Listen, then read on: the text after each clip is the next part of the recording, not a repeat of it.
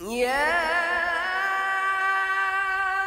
أيها الذين آمنوا كتب عليكم الصيام আসসালামু আলাইকুম রহমতুল্লাহি ওবরাকাত আলহামদুলিল্লাহ ওয়াহদা ওসালাত ওয়াসালাম আলা মাল্লা নবিয়া বাদ আম্মা বাদ সম্মানিত দর্শকবিন্দু আমি আপনাদের সামনে কিছু তাসবি তাহালিল এবং তাকবির সম্পর্কে এবং তার ফজিলত সম্পর্কে আলোচনা করব।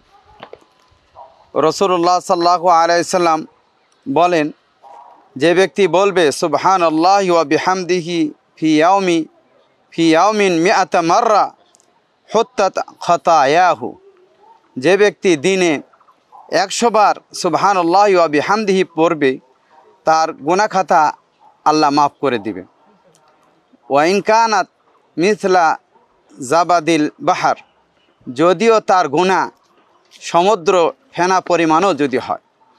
সুবহান আল্লাহ আসুন, আমরা সামান্য একটু বাক্য কয়েকটা সেকেন্ডের মধ্যে আমরা পড়তে পারি। সুবহান আল্লাহ হামদি আর একশোবার যদি পড়তে চাই, তাহলে আমরা কয়েক মিনিটের মধ্যেই আমরা একশোবার পড়ে, পড়তে পারব। তার বিনিময়ে আল্লাহ রব্বুল্লা আলমিন কী করবে? আমাদের গোনাখাতা মাফ করে দেবেন। সমুদ্র ফেনা পরিমাণ হলেও। আমরা কে আছি যে গোনা থেকে আমরা মুক্ত?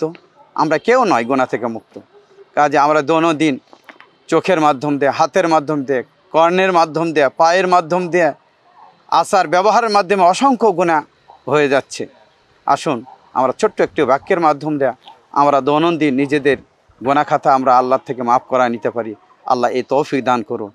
وآخر دعوانا أن الحمد لله رب العالمين. السلام عليكم ورحمة الله وبركاته.